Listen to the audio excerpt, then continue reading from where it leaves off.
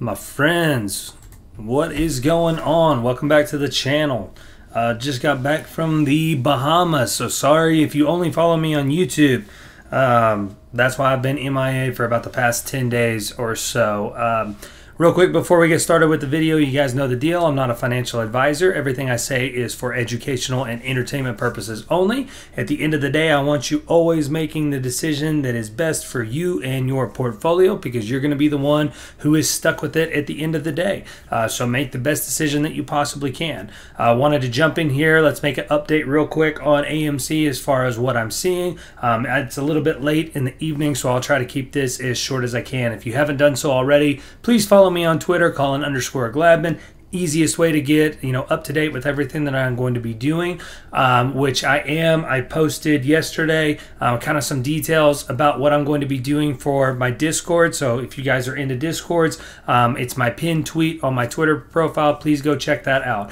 Um, right now it is currently full, but I'm current, but I'm also taking uh, people on the wait list in case you know some people fall, uh, you know fall off the bandwagon, if you will, uh, once we actually get it started. Hopefully, should be up and ready to rock and roll by Monday of next week. But anyway, let's jump into the chart. So, um, I tweeted out yesterday. Um, basically, a little bit of a scenario of what might happen today. And unfortunately, it was the downside scenario, but it played out very well. So, um, if we come over here and we do a fib uh, from our low that happened um, back over here on May the 12th. Um, and then, of course, we had our top over here when we ran a little bit over 16 on May 31st. Um, so we pretty much had a perfect 786 bounce. Obviously, it was just an awful, ugly day in the market in general. Uh, we gapped down at the open, um, and then and then had a slow, steady climb the rest of the day. Uh, pretty much what I said is if we do see any type of downward pressure, selling pressure, we want it to be on very low volume. Let's check the volume for today. I'll be honest, I didn't even look at that yet. So we were at 27 uh, million shares traded in volume, so that's great. That's very low. Um, basically, anything other, uh, excuse me, anything other under 50 million shares traded for AMC, I consider pretty low volume. So um, we had the 786 bounce, had a nice bullish reaction on that. Now, overall, the volume stayed pretty low the rest of the day. Now, tomorrow, what I think is going to be our most likely scenario is we are going to see a little bit of overall market relief rally um, because today was so bad, leading up to the interest rate hike uh, decision from the Fed, um, which is going to be happening on Wednesday. Wednesday. Um, if you followed my channel long enough, uh, myself and some other people on Twitter, we've always talked about how overall the market doesn't like uncertainty. And right now there's just a lot of uncertainty with inflation um, and everything that's going on in the economy the war in russia everything that's going on over there uh, locking up the supply chains things of that nature. So there's just a lot of uncertainty. And so people you know there's a lot of scared money out there. Um, and so the bears are just you know feasting right now. So, a couple scenarios that we could have here. The only thing that makes me nervous of what I'm looking at is this to me potentially could be a bear flag, okay? And so, what a bear flag would look like is you have this big push down, and then you kind of have a weak relief rally on relatively low volume, and then you get another big push down, okay? So, I do think we see upside tomorrow. Um, if that upside tomorrow is still really weak volume. Um, you know, we want to be cautious going into Wednesday um, as far as you know what the interest rate. But I do think even if the interest rate hike is worse, you know, I, I kind of put out or tweeted out a poll today. You know, what do you guys think? And the most, and the two most common answers were, you know, 50 basis points and 75 basis points. I'll be honest, I don't really know what I think, but I think everybody's so shaken up about what the economy is looking like right now that it wouldn't be surprising to me if they were a little bit more dovish than hawkish and they kind of postponed some interest rate hikes. But, you know, there's also the argument that that's really, you know, one of the few ways that we can start getting inflation under control. So, um, you know, when you just don't know, you just don't know. And right now, I just don't know. Okay, I would be leaning more towards the the 50 point um, hike, and if that happens, then I see. I think we might see a, a real you know push towards the upside after that. Um, and then of course if it's way worse than what we think, then we're going to see you know a real push to the downside. But I think even if we see a big push to the downside, then once the market kind of settles in and the market kind of digests that information, then we will start um, you know seeing a push back to the upside after that. So. I tweeted out last night, we want to see a 786 bounce or a worst case scenario, a $10.36 $10.30 bounce um, to make that double bottom down here. Um, but as long as we keep maintaining, so what I'm looking for right now overall is are we maintaining that, you know, that, that higher low the entire time?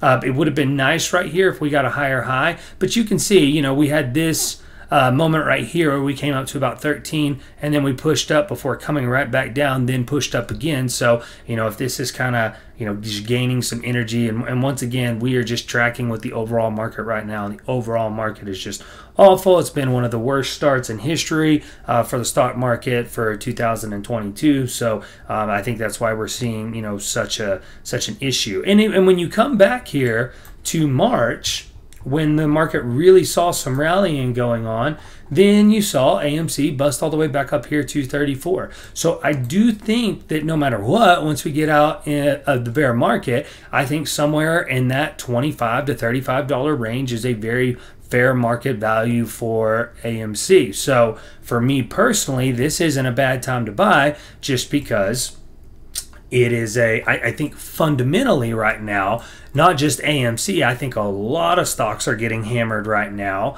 uh, just because, you know, it's been awful since November and the inflation and, and once again, what I've already talked about. So that's going to be overall what I'm looking for. So I push up here, you know, towards $12 tomorrow. Be interesting to see what happens around the 618 and the 65. If we start, you know, if we see a push up all day, we start coming up here. If we do start to get rejected, then I think we got to be ready for, you know, more downside. But um, if we push push up with strong volume, or especially if we break over the 618 around that 1217 level, you know, then then I would feel you know pretty good about it. Um, overall, indicator wise, if we look at the RSI, very oversold, um, and this is where I tweeted out this morning. Also, too, thank you guys. I uh, realized I went over 4,000 YouTube subscribers, um, so thank you for liking and subscribing uh, to the channel. But I opened up, um, I sold some puts this morning on AMC. I mean, pretty much right here. If we go to the 15 minute RSI, I'll show you why. This bad boy right here. I knew we would get a relief bounce, um, and so I think once again they were already up by like 25% towards the end of the day. Uh, I'm going to be watching them because if we push up here on low volume, I will be getting out of them at that point in time. So just looking to collect some premium, create dry powder. So overall, you know, we still got room to push up, and I think that's most likely. We push up here to this $12 range, and then we want to see really what's going on. So that's pretty much everything that I'm going to be looking for tomorrow. Um, once again, last but not least, if you're interested in joining my Discord, it is full right now, but please go to my Twitter page, read my pinned tweet, um, and reach out to me through DMs um, if you have any questions or anything along those lines. But that's going to be everything for right now. So for tomorrow, upside. I'm looking for a push up to that $12 range. If with the overall market kind of you know if we sort of see a relief rally tomorrow i, I think that's going to be very reasonable.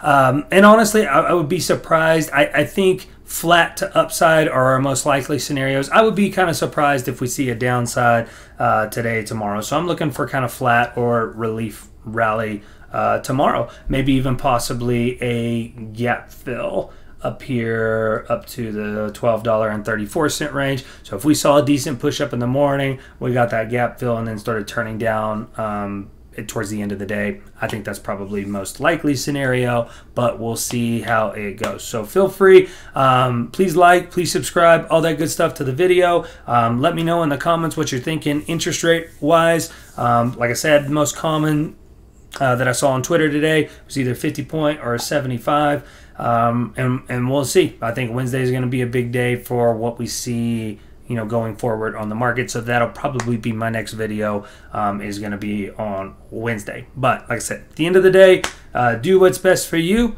and i'll catch you next time on the channel Appreciate you guys. Have a good one.